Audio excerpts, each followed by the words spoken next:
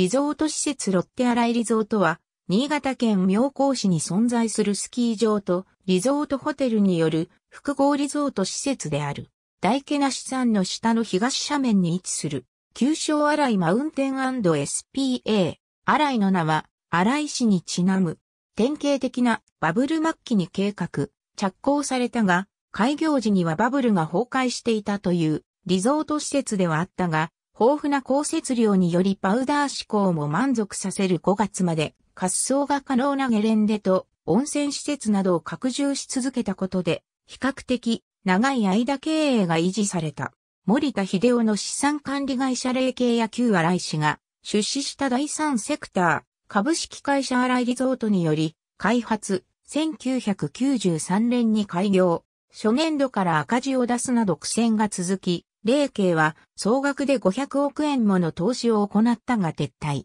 2004年、荒井リゾートマネジメントが運営を引き継いだ。2000年代に入り、スキーヤーが激減したことに加え、2005年のシーズンには豪雪すぎて集客がままならないという状況となり、2006年7月10日に、荒井リゾートマネジメントは11億円以上の負債を抱えて経営破綻した。その後スキー場とホテルは閉鎖状態となっていたが、2015年6月、妙高市による購買によって18億円で落札され、7月3日に譲渡が完了した。落札したのは、韓国のホテルロッテの子会社の株式会社ホテルリゾート、上越妙高で、設立は2015年5月、資本金5万円である。当初は2016年に一部再オープンする予定だったが、2017年12月にロッテアライリゾートとして全面をオープンする計画に変更されている。